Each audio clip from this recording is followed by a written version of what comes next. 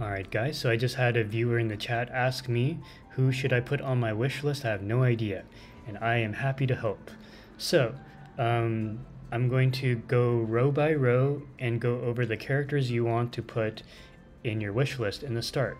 Now my wish list looks very different because I have most of my characters max copies. So uh, for, for that reason, I'm just swapping them out. That way I can get the rest of the copies for characters I don't have. So um, I would say that in the beginning, you want to go something like this. Temesia and Rowan, they are definitely the two characters that I see the most when it comes to any form of content, uh, including Arena, which is the PvP mode. Um, the reasons be because Rowan, he's one of the three premium healers who, in his case, what he does is he provides emergency heals by popping a potion on an ally when they dip below 50% HP. He also is an energy battery, providing energy when he ults to uh, to your to some of your party members to help them get their ult faster. And what ends up happening is that you know if you say partner Rowan up with a primary healer like Hewynn or Smokey, he is able to uh, provide the energy needed to get Hewynn to ult sooner, to get her prayer rain out faster, to apply the burst heal, the CC immunity, and the um, the 32% damage reduction as an example. But the energy regen also, or the energy uh, that he provides for everyone also uh, gets the your damage dealer's ultimates off or get your tank's ultimate off to help his or her survivability. So Rowan, even though his heals might not be the greatest, but he's more like an emergency burst healer when you dip into the red and he provides energy. Now Temesia, uh, this lady right here, she's uh, also a very good Lightbearer character who I actually play a lot, especially if you are Vala mains, you want a Temesia because you want a character who is not only a tank, very mobile to attract tons of enemies and break enemy formations, but also she has the ability to knock back and stun the enemies, as well as when you get her to Supreme Plus, she also does physical defense shred, which helps Vala out because she's physical. Uh, typically, Vala teams, you either splash Vala on a team, uh, like a, a Wilder team or some other team, or you have a Lightbearer core of Temesia, Rowan, and Vala, who is on the limited banner. And then, of course, if you have Marilee, who is an excellent DPS in the uh, Dream Realm because of her ability to hop around as well as her high damage output, you know, you have a very nice Lightbearer core right there. Now, noteworthy mentions is that Cassadee, this lady right here, once you max, once you get enough copies, say like Mythic Plus of Rowan, Mythic Plus of um, Temesia, and you want to have another character to bring to Mythic Plus, you can swap one of them with Cassadee. I play Cassadee from time to time because for the Eironn teams, basically the Wilder who vortexes everyone at the start of the match to group them together and does a 40% magic defense shred with his cleave. Um, Eironn likes magic users such as Carolina, Arden, and Cassadee. So if for, for some reason you want to spice things up and you want to run like a Wilder Lightbearer team and you want to run Eironn, you could literally do Eironn, Arden, and Cassadee as your DPS core and then maybe have Granny as a tank and Hewynn as your healer for the four the four faction um, Wilder bonus. So anyways, that's an ex- another excellent S rank character. Now kind of going over the A rank characters for Lightbearer. If I was to start the game over, I would probably put Marilee and Lucius here first the reason being that as I progress through content, I find myself getting stuck on stages where the enemy is doing overwhelming damage. And for this reason, having someone like Lucius who is able to provide really beefy shields, not just for himself, but also his party members, is incredibly useful. So Lucius, you know, being such a valuable tank, like sometimes even though my Lucius, as you can see, is very low ranking, not even Mythic Plus, but sometimes I bring him into the battle when I'm just Monka S, I, I don't have any other option. So Lucius just being a fantastic tank and probably the best tank on the Lightbearer side besides Temesia. Uh, you pulled both units.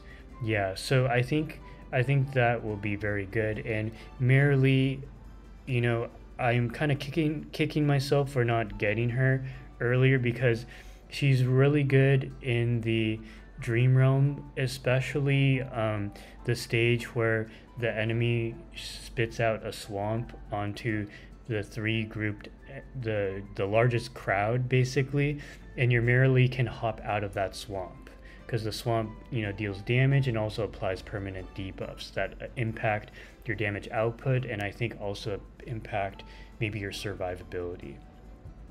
So and then after that, then you probably want to max Korin.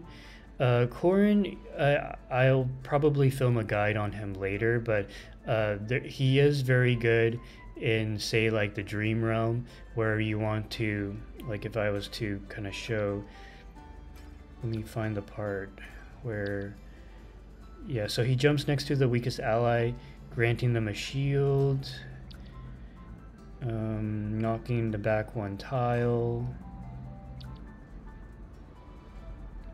I mean he's not like an insane game breaking unit but he's not a bad unit either.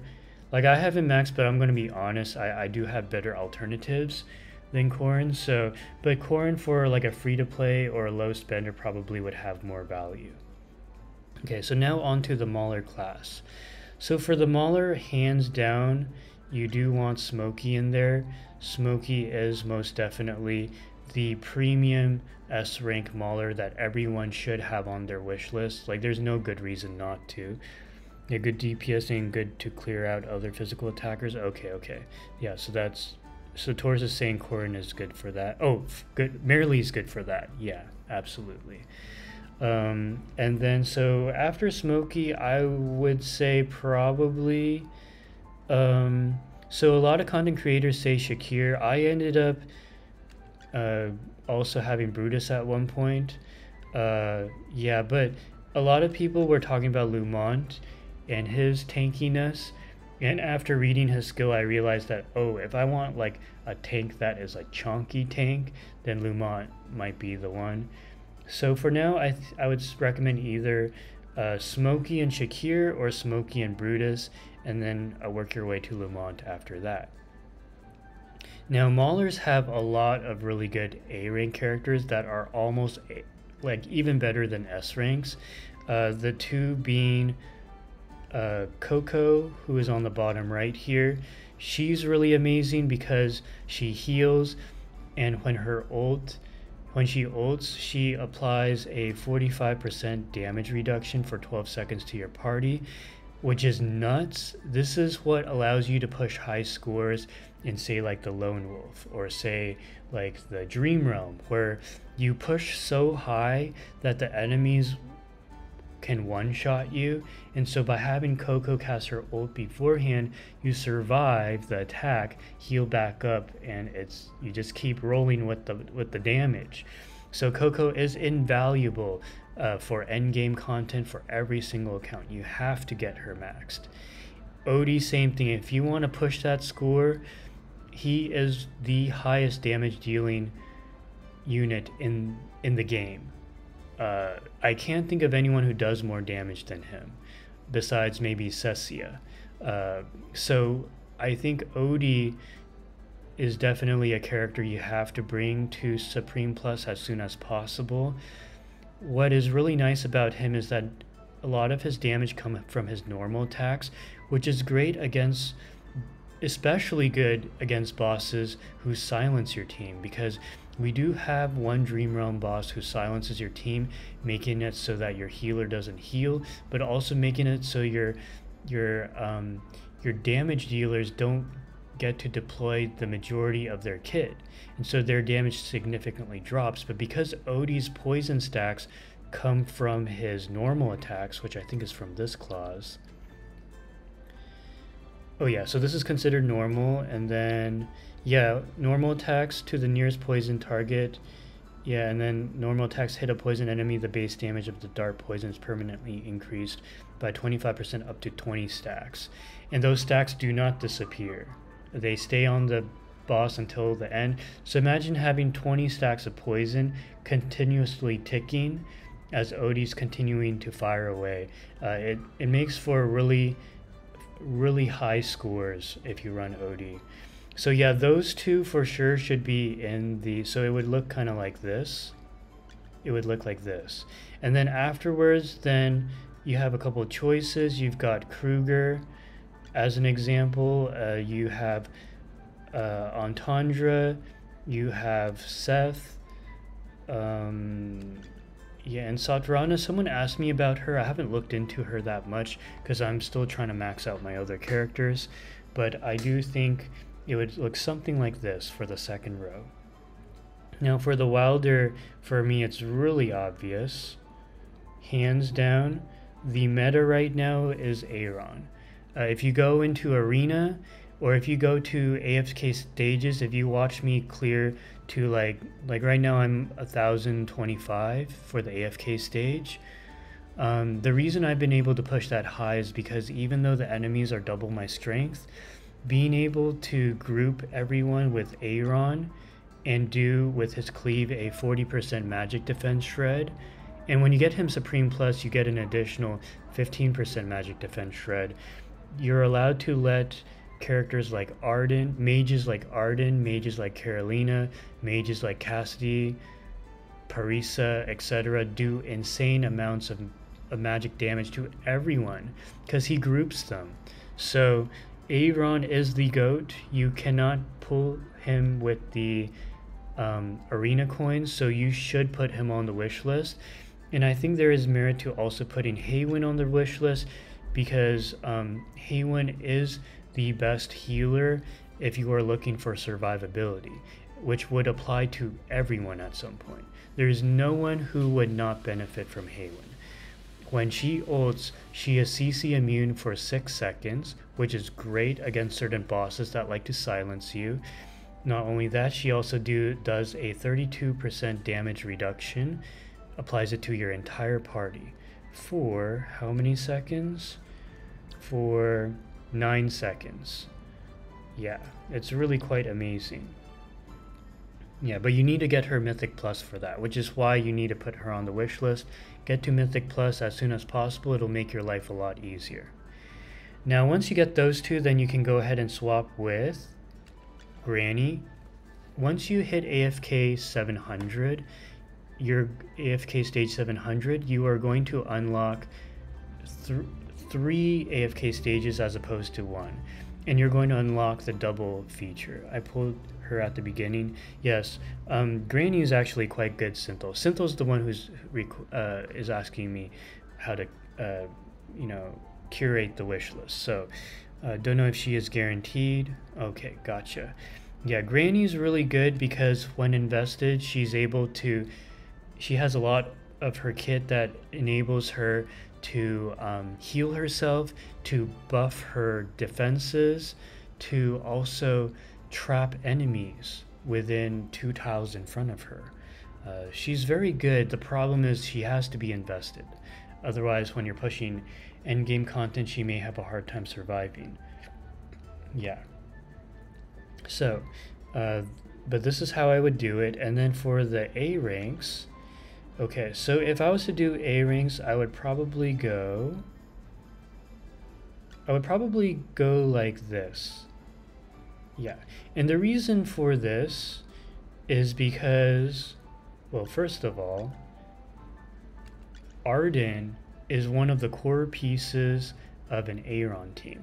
Now, when you reach very high stages of PvP arena, you will find variations of Arden, or I'm sorry, of Eironn. Sometimes it's Eironn, Hewynn, Arden, Carolina, with a tank like Granny or Thoran, like like my team, or you may run into like, say, instead of Arden, or instead of Carolina, no, instead of Arden, you go um, Reinier.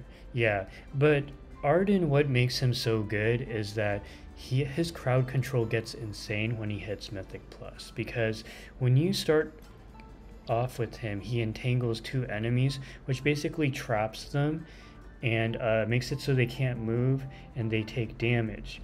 However, if you have him Mythic Plus, all of a sudden all five enemies are stuck on their tiles with the entangled roots, also taking damage.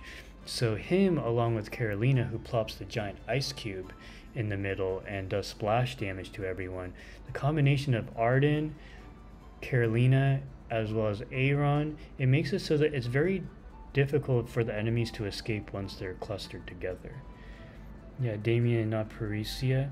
Honestly, I would take per Paris Parisa. Yeah, I, so um, I think that Zero makes a very good point.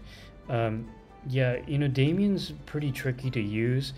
The nice thing about Parisa, actually, if you're really heavily going for an Eironn team, is that Parisa does is also a very good mage to use for an Eironn team. Honestly, earlier I, I'd take Parisa. Yeah, I think for Parisa, yeah, increases her attack speed, does AoE damage, marks them with a floral target. Yeah, she's like like super hyper focused on damage. She restores her energy, it looks like.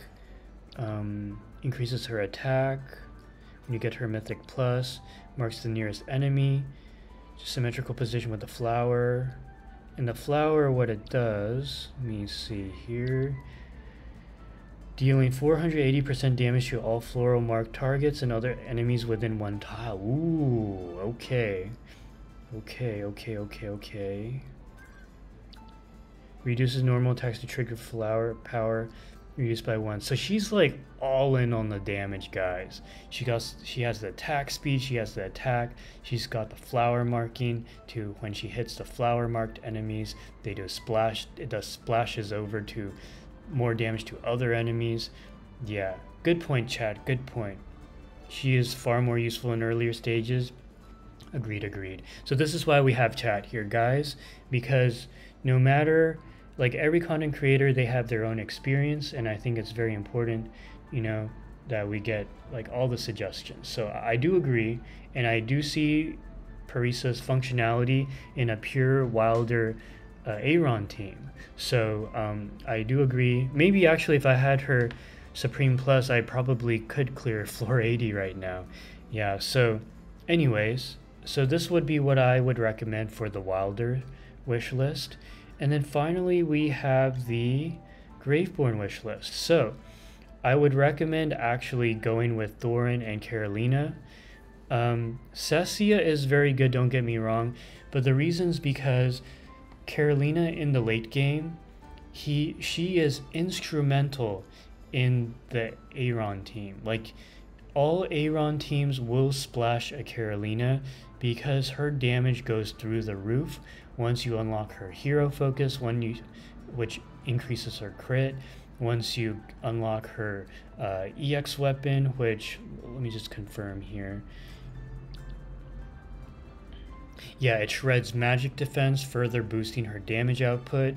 And I have the EX weapon, like the the higher you go, I have her EX weapon at level 10 right now, which increases her magic defense shred by 25%.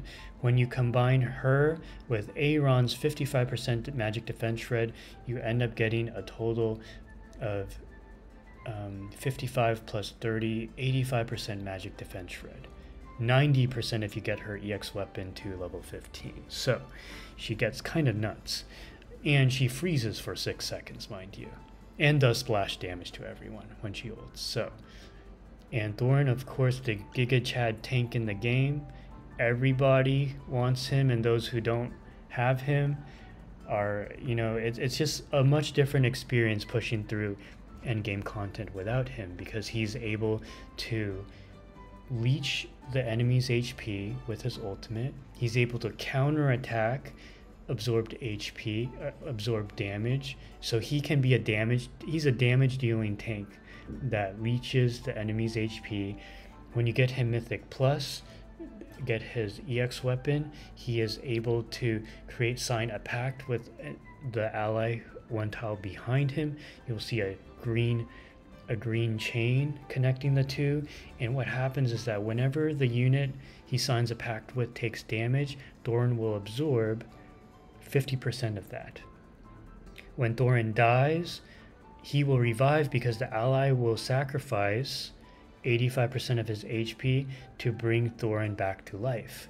Uh, yeah, so there's just some amazing synergies. It's it's really nice to have a tank that protects a very squishy unit like that. Can I ask you about today's boss? Absolutely, absolutely. Almost done here. Uh, yes.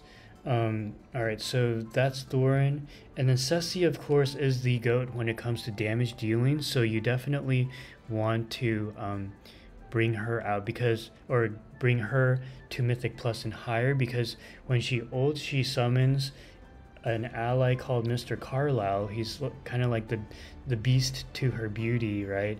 And Mr. Carlisle inherits all of her stats and also deals damage. Whenever Cecia deals damage to, let me see here. Oh yeah, and she's able to also entangle the enemy, which makes them makes it tough for them to move or act, uh, and increases her attack speed.